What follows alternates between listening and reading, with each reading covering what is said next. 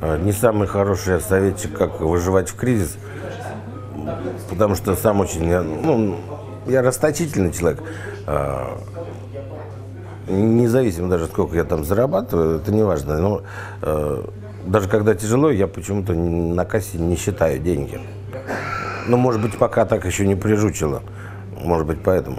Э, Но э, я понимаю, что денег стало меньше. Я понимаю, что зрителя в залах стало меньше.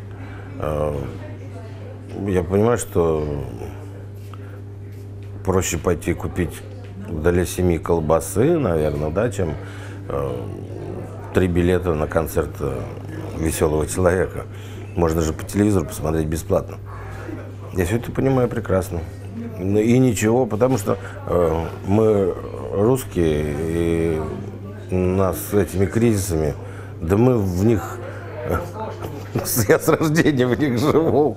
Вот лично я. Потому что, как я, сколько я себя помню, мне с детства писали на руке цифры ручкой шариковой в очередь вставать за маслом там или за колбасой, или за сахаром. Поэтому, да что мне этот кризис? Мне, это все равно. Как жили, так и будем жить.